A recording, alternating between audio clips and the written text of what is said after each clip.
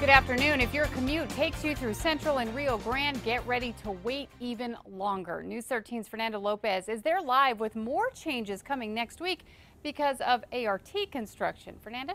Kim, getting through this intersection here at Central and Rio Grande already takes an extra 15 minutes during rush hour. Now come Monday, it'll likely take even longer.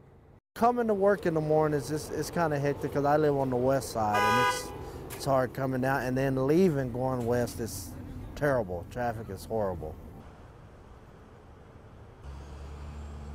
Curtis Flanders, the manager at the Rain Tunnel Car Spa, says during morning and evening commutes, traffic is constantly backed up and his business is down because of all the traffic here.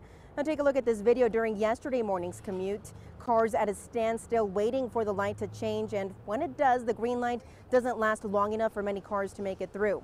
Now starting Monday, more changes are coming to this intersection that will affect traffic in all directions, including a change in signals and lanes to turn onto eastbound Central and eastbound Central traffic will not be able to turn onto northbound Rio Grande toward the interstate.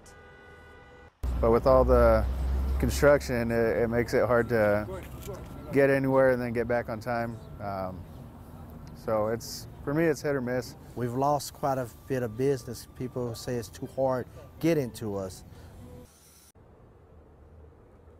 Now, ART spokesperson says they are looking into how long the traffic lights last at this intersection. Some have complained about having to sit through three or four cycles before they're able to make it through. Back to you, Kim. Okay, thanks, Fernanda. Now, the changes at Central and Rio Grande will last three weeks. We have a full list of ART construction closures on our website, krqe.com. You can also download our app.